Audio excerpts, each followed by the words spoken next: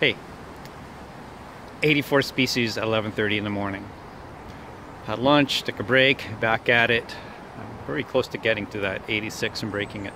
But listen, I want to tell you a bit about Birdathon. It's changed. It used to be my sponsors would sponsor me per species, maybe 10 cents, maybe a dollar.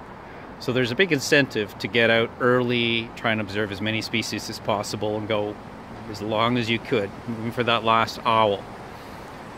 People sponsor you now on a flat rate, and so there's less incentive. I could just be sitting at home drinking beer or having a sleep or whatever, watching sports. I'm not. I'm out early, check my eBird lists, and I'm going to go late.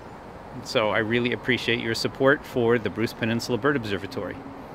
Thank you.